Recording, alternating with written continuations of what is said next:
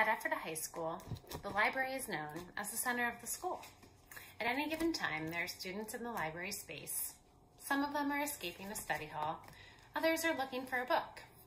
Students report to the library for class on occasion, while others meet in small groups to study. As a librarian, my face-to-face -face interactions with students and staff are what drive the success of our program. And then we went virtual.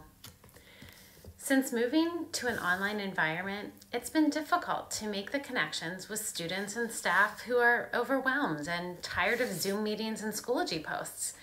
We took an alternate approach and decided to meet the students where they are, scrolling on Instagram, and provide quality content that can help them through this difficult time. Every instructional day, there's a five slide story on Instagram highlighting a young adult book. We've done reader's advisory through direct messaging.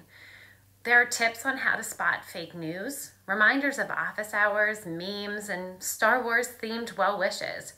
We've also been curating weekly prescriptions, if you will, that focus on body, brain, soul, belly, and community activities and efforts to provide distraction or encourage the students and staff to try something new. Follow along at Mounts Media Center on Instagram. We plan to keep our efforts rolling through the summer and know you'll find something you like.